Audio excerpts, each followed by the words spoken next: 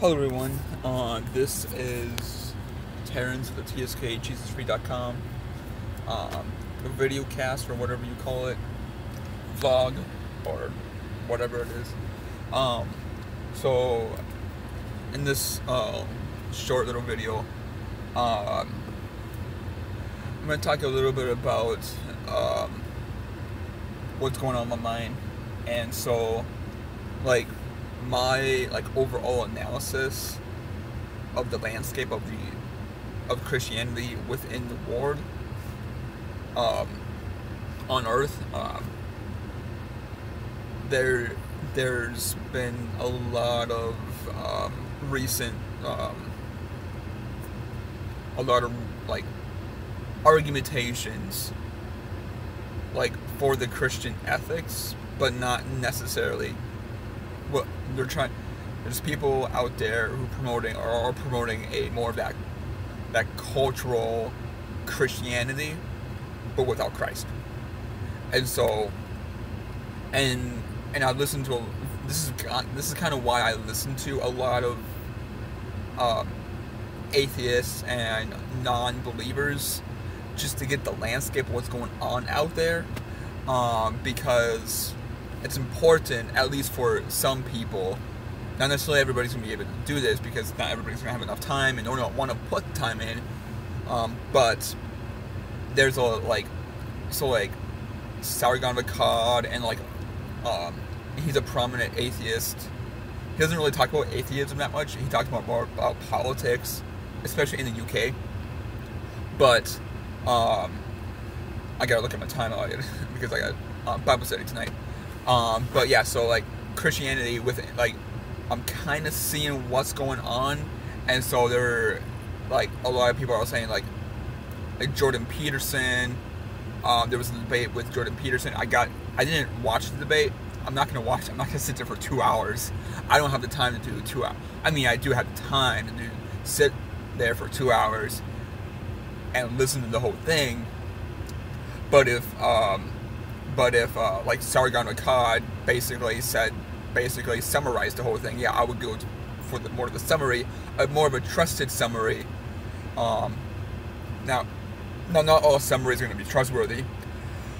Sargon of Akkad is more trustworthy in that regards, um, and I know his biases and uh, knows his uh, stuff. Uh, but in general, so like I, I listen to um, and I listen to like very libertarian oriented um, podcasts out there that are like are a different take. And so i'm kind of like picturing all this like kind of like like because i don't think like here here's my take on the end times. I'm not thinking i'm like very like analytical. I mean i'm not saying i'm not saying that like christianity is gonna like like Christ can come back anytime. Uh, hence the Bible, like like Christ said, I don't know when I'm coming back. So, uh, so as a Christ follower, it's important to always be vigilant.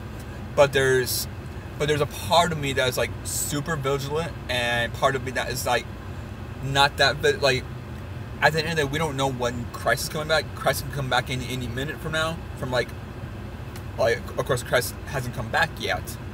Um, but what I've kind of like a theory, a theory out there. Um, this is just a purely a theory. Theory. Um, what's gonna like because the war there's too I think there's too many Christians in the war to have the to have the have the Christ come back. Um, honestly, um, like there's too many Christians in the war. There's still a good chunk of the population of the United States are Christians who who claim to be Christians. Okay, uh, but as like culture, as the culture of the United States has continued to go down the path of being anti-Christian, um, that's starting to just the cultural um, ramifications to be Christians in some in certain aspects of society in the United States, certain geographical regions in the United States, it's harder.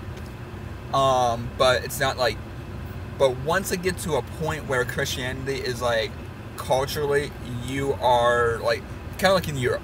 So like if the United States, I think the United States in America is gonna be like Europe, like on that trajectory. So so yeah, that that whole mindset of of uh, the whole aspect of that, and so what my take is, there's still a lot of Christians in America, or not interested in in the war globally, that are like I I don't think um, this is my personal analysis of it. I might be totally wrong, but whatever. This is just my personal analysis of the whole like, uh, like there, there's argumentations that would bring down Christianity in a in a increasingly secular world. So what Sargon of Akkad does, and what Jordan Peterson does, what Sam Harris does, uh, and what um, all these prominent figures in society right now. Um, I agree with like bits and pieces of these figures on specific issues, like freedom of speech, for instance, is a big one that I believe that we should have the freedom of expression and speech. Um, but at the same time, um, I, am looking at as, as the landscape um, of the whole global landscape, and I don't think Christ is going to come back, not quite yet. Um, of course, that that could change, radically change, in amount of uh, in a matter of like, in a decade or two. Like being a Christian right now is still okay. Like you're you're still like okay, you're a Christian, you do your own thing, but like as decades and decades progress, um, it's gonna be harder and harder and harder to be Christian in America, even if it's not outright banned in America to be a Christian. It's gonna be culturally banned. Okay, so there's gonna be a lot of cultural banding of Christianity, um, which is fine. I don't have any philosophical beefs with that. It sucks to be a Christian, but whatever. Um, I have Christ. I don't care. I mean, I don't care about myself really that much in terms of of so like in the Christian worldview, as things are going to progress um, further and further and further down the line, I think I'm getting a, a more of that um, that picture of like, okay, this is how how things can go in the next 50 years. Um, I'm not saying that like I, I I don't think it's gonna happen in I don't even think it's gonna happen in my lifetime. It might happen in my lifetime. Like I don't really whatever floats God's boat is whatever floats his boat. Uh, but this is just my personal analysis. I think Christ is not going to come back until 50 to 100, 150 years from now. And that's just my general landscape of the. I, I look at the landscape of it, and this is just my personal take. It has nothing really, uh, like people try to uh, look for signs, but I look at the landscape. Like there, there people who are look, there's people who like to look at individual signs, and I look at the landscape. I look at the forest, and the forest is still there's still a lot of people. The forest is still uh, there's still a lot of Christians who proclaim Christ and be a follower of and and be a Christian. Until that dwindles down to I say 5% or not even like maybe not even 5% maybe like 15 to 20 15 10 to 15% of the world population is Christian then um, then it's going to be a lot more concerning and a lot more, um, would you say, um, a lot more, there'll be a lot, I think there's just too many Christians in the world to keep it from going full blown into, um, into the end times. That's just my personal take.